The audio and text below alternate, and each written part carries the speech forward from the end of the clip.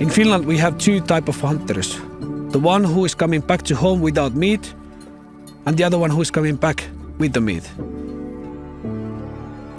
You can think which side I am.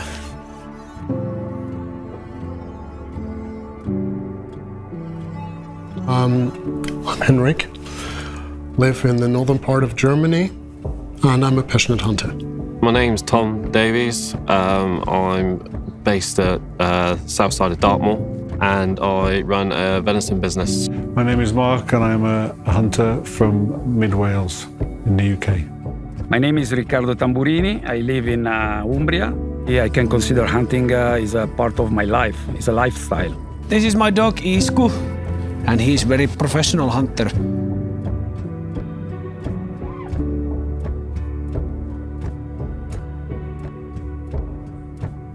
Doing anything that brings us closer to nature, and that might be hunting for some, fishing for others, hiking, I don't know what, you know, you name it. Uh, but we should try to stay in touch with where we come from. Hunting is my passion.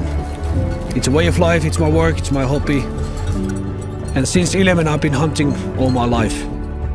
Well, hunting's always been my life. Um, you know, I used to, when I was in my teens, I'd hunt more than I would work.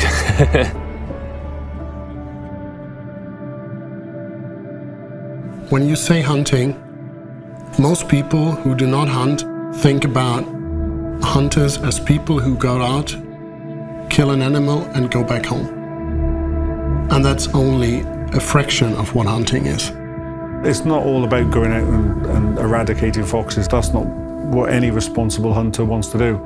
What we want to do is just control the problem at the time. So if a farmer is losing lambs, then we will go and we'll, we'll, we'll sort the problem out and take that one fox that's causing the problem. We need the farmers. Hunting and farming should always go together. Hunting actually is the only way to prevent some damages to the crop devastation. yeah, if you're out hunting, it's, it's not just always about getting the hunt, getting the animals that you need. Uh, getting the animal, yes, is important, but uh, for me it's more important to spend hours in the wildlife, looking for the animal, trying to understanding uh, better their uh, habits. Also because I'm very curious. I mean, that's that's the precondition. You need to be curious, right? Um, you need to have a general interest. The coming on the market of thermal devices changed the life of everyone who loves to stay uh, in the nature. Uh, of course, also uh, to the hunters. It's not about a second or third follow-up shot. It's about one shot. One shot, one kill. That's the intention. You need to be able to identify what you're shooting. That is the most important thing when you're doing any anything nighttime shooting. You, the number one thing is you must know your ground. You must know that all of all the safe backstops, and you must be able to identify what you're shooting at. Technology is absolutely fantastic now. So any equipment that I choose to use, it ideally is always, you know, top spec equipment. Good means you need to be able to rely on it. Um, it needs to have a quality that you can depend on.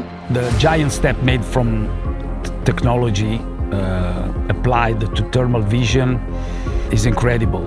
When you've got all those things in place, then it is safe to actually take the shot, and that's what makes it more successful is having the right equipment. That's why I use the best, basically.